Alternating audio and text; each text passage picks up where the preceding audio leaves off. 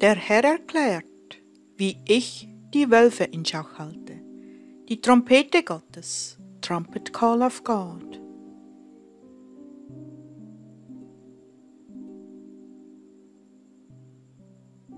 Neunten November 2010 von dem Herrn unserem Gott und Erlöser.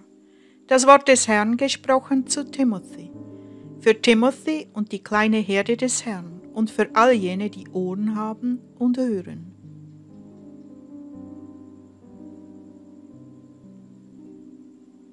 betreffend jenen, die gegen den Herrn kämpfen, indem sie seine Diener angreifen aufgrund seines Wortes, das er zu dieser Generation gesprochen hat. Das sagt der Herr. Timothy, wie wird ein Feind zufriedengestellt? Und wodurch wird seine Entschlossenheit verringert?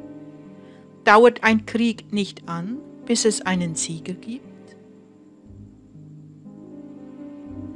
Deshalb habe ich ihnen die Mittel zur Verfügung gestellt, durch welche ihre tobenden Herzen zufriedengestellt und ihre Entschlossenheit gemindert werden könnte. Sie sind massiv getäuschte, hartherzige Kinder, die ihre Rechte nicht von ihrer Linken unterscheiden können. Habe ich nicht gesagt, was auch immer jemand sucht und findet, um die Ablehnung meines Wortes zu rechtfertigen, so soll dies ausreichend sein für ihn. Was sind diese Anschuldigungen für mich?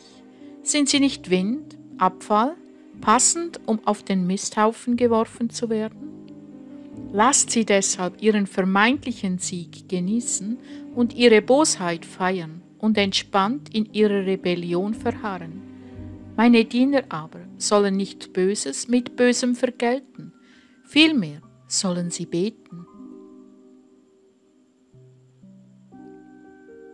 Noch einmal sage ich dir, Timothy, lass sie in Ruhe, denn die Bösen und die Betrüger öffnen immer ihren Mund gegen mich. Sie hören nicht auf, mit einem vorlauten Mund und einer lügenden Zunge gegen meine Diener zu sprechen.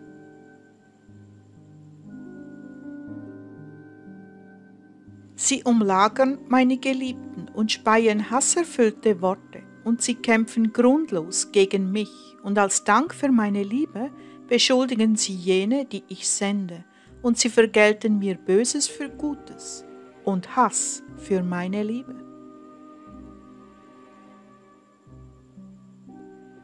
Deshalb bleiben sie in ihren Sünden, ihre Schuld bleibt ungesühnt während sie weiterhin die breite Straße entlang schreiten.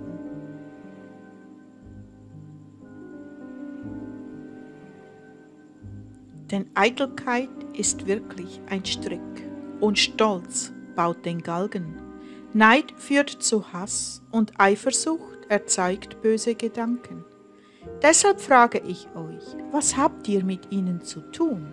sagt der Herr.